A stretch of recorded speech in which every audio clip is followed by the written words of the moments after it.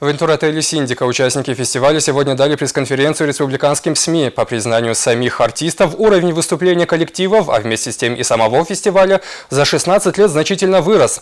Время, конечно, диктует свои условия. Публика каждый раз э, ждет от артистов оригинальности. Стоит ли что-то менять, узнавала наш корреспондент Инна Богатырева.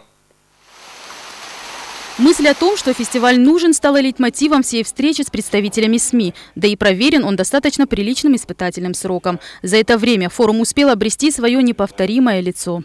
Уровень подготовки коллективов, его репертуара – его костюмов очень вырос за последнее время, потому как раньше к этому относились немножечко вот попроще. Сейчас уже все понимают, что себя нужно позиционировать, себя нужно показывать, свой субъект, нужно представлять, свою культуру нужно любить и о ней говорить.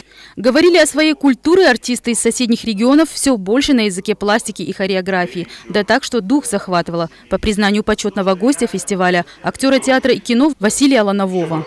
Я подумал, господи, какой мощный запас талантов, еще не всегда используемых, наверное, до конца.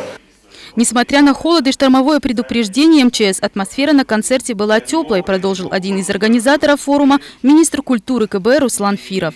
Он отметил, что формат фестиваля устойчивый и оптимальный, именно такой, каким его хотели видеть и участники, и зрители. Менять его специальной необходимости нет. Живой ритм дня нынешнего и энергичные люди сами создадут неповторимую магию фольклорно-эмоционального микса. Одну и ту же пьесу «Гамлет», допустим, невозможно поставить одинаково в 20-е годы, 80-е и сегодня. Поэтому и фестиваль будет, естественно, преображаться со временем.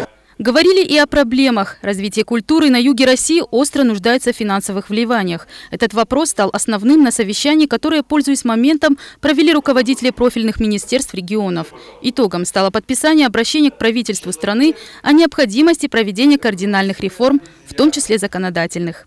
Инна Богатырева, Игорь Мигулин, Вести, Кабардино-Балкария.